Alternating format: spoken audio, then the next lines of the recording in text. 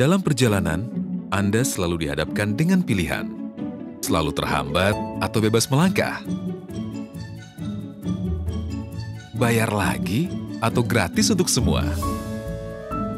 Yang sempit atau yang lega.